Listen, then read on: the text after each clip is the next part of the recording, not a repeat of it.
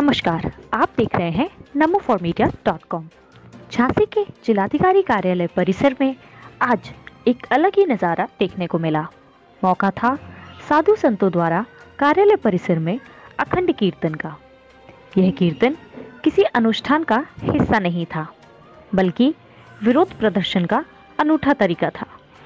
दरअसल, मंदिरों की जमीनों पर होने वाले अवैध कब्जों से आजिज आ चुके यह साधु संत आज जिलाधिकारी कार्यालय में विरोध प्रदर्शन करने पहुँचे थे।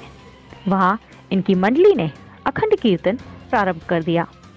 राम जानकी मंदिर मेहंदी बाग के पुजारी प्रेम नारायण दास महाराज ने बताया कि आए दिन मंदिरों की जमीनों पर कब्जे हो रहे हैं।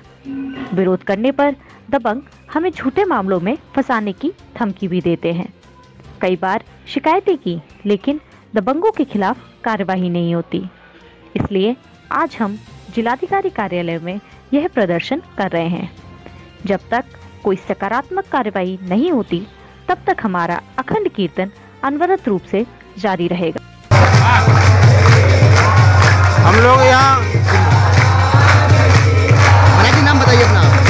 हमारा नाम है प्रेम नारायण दास। मेहंदी बाग राम जानकी मंदिर झांसी। प्रदर्शन क्यों हो रहे हैं आप?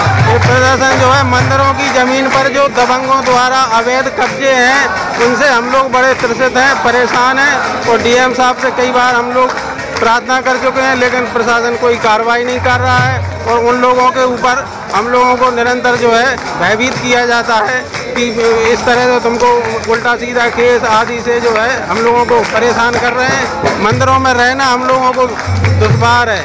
जो इस तरह से जो आदाताई लोग हैं उनके द्वारा परेशान किया जा रहा है। आपका कब तक चलेगा ये? जब तक हमारी जो है वो सुनवाई नहीं होगी हम लोग यहाँ अखंड कीर्तन करेंगे।